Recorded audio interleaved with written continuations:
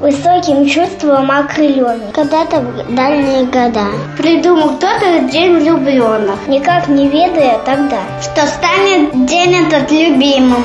Желанным праздником в году, с днем Святого Валентина. И вас почтением назовут. Улыбки и цветы повсюду, любви и признания вновь и вновь. Так пусть для всех свершится чудо, пусть мир правит лишь любовь.